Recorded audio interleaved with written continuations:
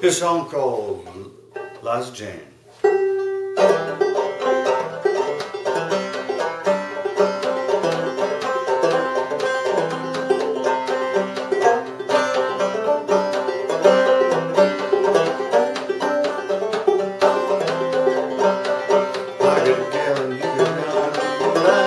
Jane, I can tell you.